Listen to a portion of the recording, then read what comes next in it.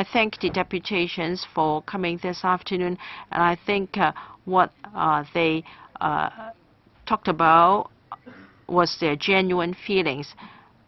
Perhaps we may not be able to come up with a solution this afternoon, but it is important for uh, the Secretary and the PS and uh, their team to understand the feelings of the public.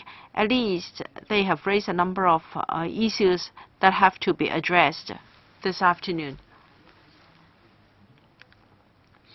I have the strong I have a strong feeling that when it comes to whole day education and the amount of schoolwork, well, uh, we first uh, proposed a whole day education in 1997. It's been 20 years, and I think uh, the um, that there's been uh, some a change uh, in the whole thing. Perhaps it is not by coincidence. Perhaps there are structural causes to uh, this change in the nature of whole day education. And I think the Bureau should really face up to these problems. For instance, whole day education has prolonged lesson time or school time, and this is against the objective of being child-centered. As we all know, children need time to play, uh, they need physical development, they need uh, development at all fronts, on all fronts. And for our, for other countries, they spend less time in school. For instance, in some uh, countries, they've only got five lessons a day in primary schools so that there is ample time for students to participate in all sorts of activities. In Hong Kong, we have additions. It's not just by the administration, perhaps by schools, uh, by parents as well, in the form of uh, tutorials. There might be social factors associated. There may not be any way out if we do not uh, find out the uh, reason. We've always asked uh, to reform TSA because uh, this is uh, the uh, critical point. If we do not relax, if we do not do away with TSA, I think many things cannot be changed. Mr. Ng is here. I hope that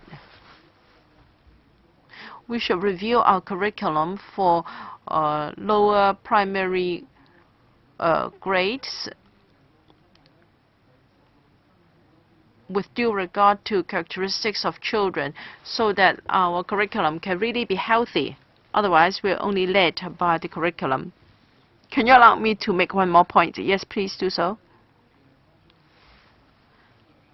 Uh, many uh, speakers present are parents, and I think uh, parents uh, can uh, think of um, ways to improve the situation. Mr. Wong asked, uh, Mr. Cody Wong asked, uh, why must all assignments be correct? Uh, many parents nowadays like to complete homework for their children to ensure that they are all accurate. But if it is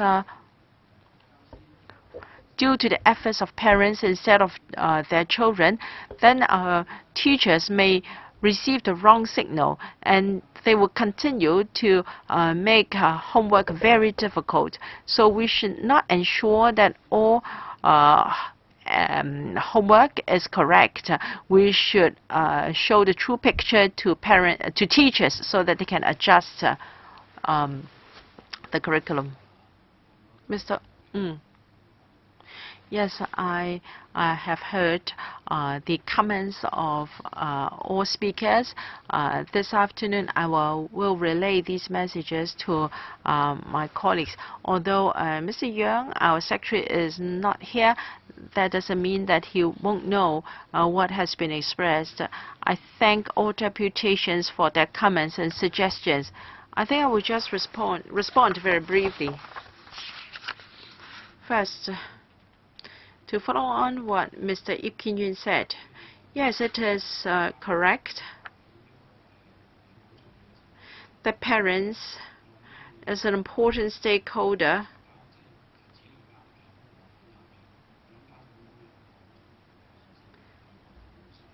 has a pivotal role to play in relieving children's stress. When it comes to stress, I think uh, many deputations have expressed uh, their views. Mr. Mkinwa said, well, in the past, we also had stress. We all have stress. The point is how uh, we deal with it positively and correctly. So how uh, should we deal with it? I think different stakeholders can have uh, different roles to play. Uh, uh, parents, for instance, as mentioned by Mr. Ip, and uh, schools and also uh, the Education Bureau uh, should all do our part in relieving the pressure of students. please really speed up and be concrete in your reply. When it comes to standard school uh, standard hours uh, on uh, homework and also the uh, standard learning hours, I don't think it can uh, easily help students uh, to um, further help the outstanding students and to help the um, not so bright students. But they are talk about a recommended number of hours to be spent on homework. Well, this is about uh, the uh, progress of individual uh, students. Perhaps uh, we, for some students, they don't need uh, that much homework, and some students need more. We talk about maximum number of hours. So, is the recommended uh, maximum hours for homework? All right, we'll go back and and think about it. Yes, we have heard you. So we'll go back and think about it because um, we can't just uh, say yes or no here. So we'll go back and take a look. Also on BCA, well, the chief executive uh, already stated uh, in her uh, political platform during the election campaign that she would be taking a fresh look at it. And in due course, we'll be announcing what we're going to do. So I'm sure you will know it and there are some fellow workers uh, from the education sector saying that uh, if they are not um, passing the grade, then they will have to get more drilling. No, that's not true because the most important thing is to provide a feedback on students' learning. So I think it's um, um, uh, in line with uh, what you just said. Uh, is uh, we share the same objective. But what if schools do not follow your guidelines? What can you do? So is there any role to be played by the Education Bureau? So uh, let's say there should be 100 minutes uh, rest time, but then uh, most schools are not following that. Then what are you going to do? Well, we do have a monitoring mechanism in place.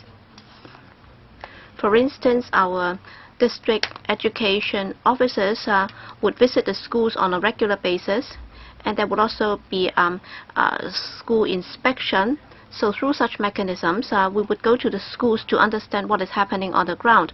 For example, how their timetable operates, and if we um, encounter such situations warranting follow-up action, we will do it. So what about our parents? Can they file complaints? Well, th there are two levels to consider this issue. As I said, uh, parents uh, should communicate and uh, cooperate with schools. That's the first uh, defense. And um, indeed, if you think that uh, you cannot deal with it uh, through that mechanism, then of course we do have an unshakable responsibility. You can come to our education officers in the district and we will be following up on that. Thank you.